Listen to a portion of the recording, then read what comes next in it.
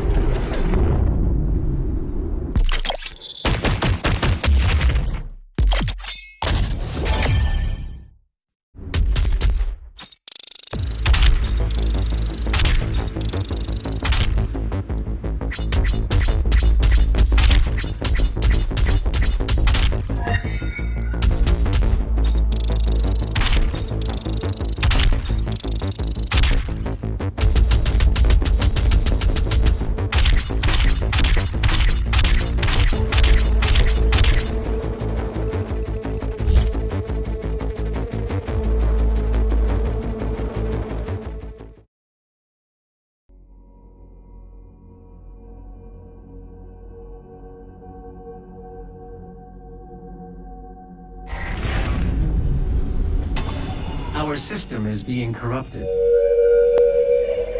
This game has gone far enough. I will have her transmission removed in a moment.